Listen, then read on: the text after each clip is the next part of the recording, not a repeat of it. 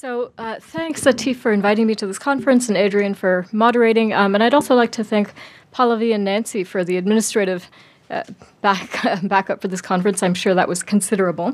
Um, so broadly speaking, this panel is kind of discussing the reasons why international capital flows can sometimes result in perverse effects. Um, and Atif and Adrien asked me to speak about whether it would be possible to have a better international organizational structure when it actually came to default. Um, so I thought I would focus my brief remarks on sort of three issues um, that I think are worth addressing in this broad range of topics, both the specific topic I'm addressing and also the panel more generally.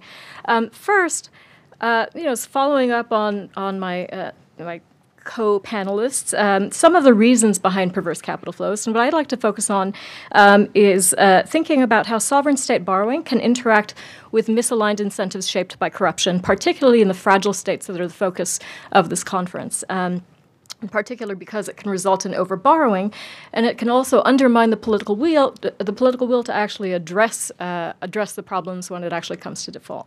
Um, then I'll talk briefly about how this sheds light on some of the pragmatic questions of who should actually lead the way in improving the current international architecture. Um, and finally, I want to speak a bit about how the international legal architecture uh, might better address the current problems associated with state defaults, both ex ante um, and also ex post. Um, so, first, on the issue of sovereign debt corruption and the practical problem of misaligned incentives. Um, I'm actually going to start with a true story. Um, a historical anecdote from the 1300s.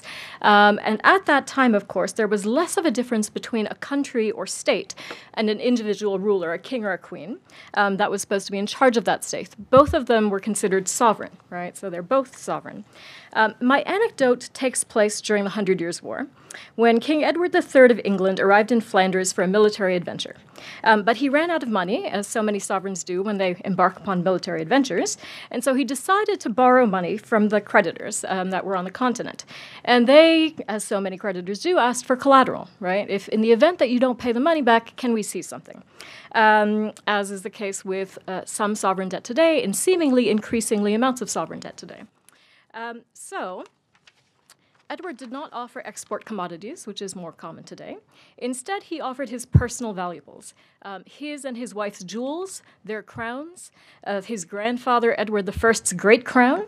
Um, and when he was unable to pay, the creditors came to collect.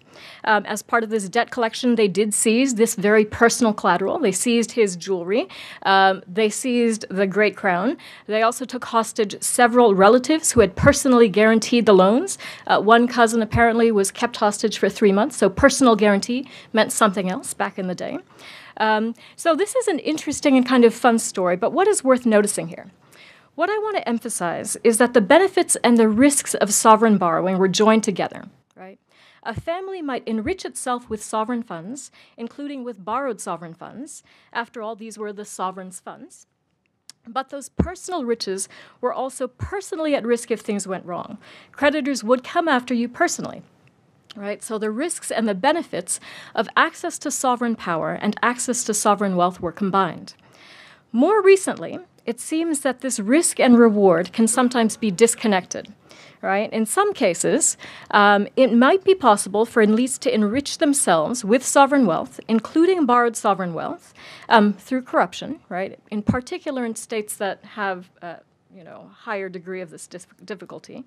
But the norms of private wealth, the use of tax havens, which has been talked about, um, and the norms and sort of rules surrounding private client banking mean that many of these elites are largely insulated from the risks of a sovereign debt problem, including sovereign default if that actually happens. Um, it has proven difficult to access those funds, right, um, despite efforts through things like the World Bank's um, Stolen Asset Recovery Initiative. Um, I actually discuss some of these dynamics in a forthcoming paper that also looks at how uh, certain cases of vulture fund litigation have, in some situations, actually merged this sort of risk.